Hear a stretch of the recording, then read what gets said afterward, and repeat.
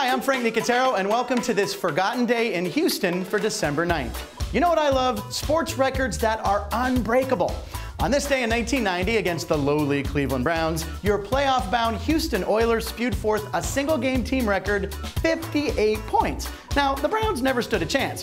Quarterback Warren Moon led the Oilers to a 45 7 advantage at the break, and coach Jack Pardee felt so good about the lead that he only let Moon play one series in the second half which was good news for Oilers backup quarterback Cody Carlson, but bad news for fantasy football owners who had Warren Moon. We've all been there.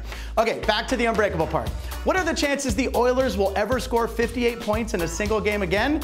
Not a chance since the Oilers moved to Tennessee in 1997 and later changed their name to the Titans in 99. Sure, the Titans inherited the Oilers record book, but the bottom line is they're not the Oilers. This is a record that will forever be unbreakable.